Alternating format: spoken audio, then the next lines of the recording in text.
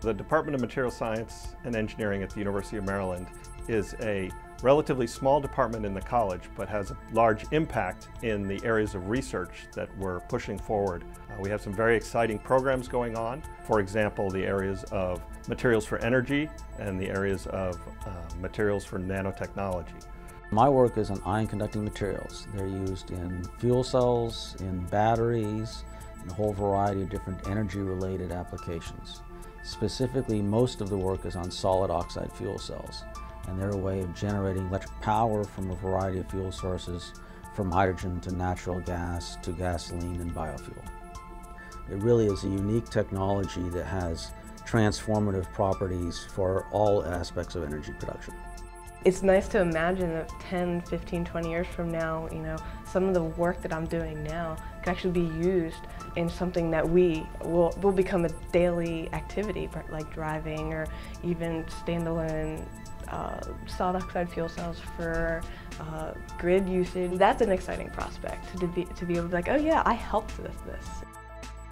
The interest in electrical energy storage is to solve big societal problems because we can't deal with the variability of renewable sources if we can't store that energy and then have it available when it's used. That's why our research is funded by the Department of Energy's Energy Frontier Research Program. Our focus in that program is on making nanoscale structures which are specifically good to store charge. And that's how you save electricity in a battery.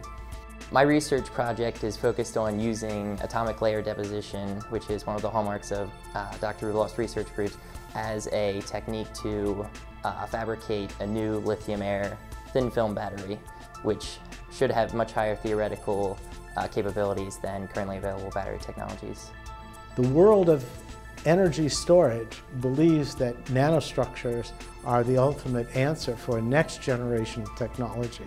So we're laying the scientific fundamentals to be able to make that a reality. What we do is we use electron microscopy to study uh, carbon nanotubes and how heat flows through them. And this has possible applications in information technology because nanotubes uh, can behave as semiconductors, just like silicon, um, and they can also pass current. And so in principle, you could pack more nanotubes together and have them operating at faster speeds than you could with silicon transistors. The instrumentation we have here is, is world-class. This electron microscope um, is uh, uh, unique uh, in the world in terms of its capabilities for being able to look at nanoscale structures uh, in real time and see what they're doing.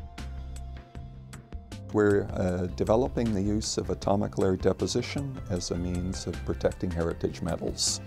And uh, so the, the idea is to come up with a technique that allows us to apply a protective coating quickly uh, without changing the, uh, the appearance and uh, in a manner that uh, we can remove that film uh, later on if we choose to without affecting the underlying uh, art object.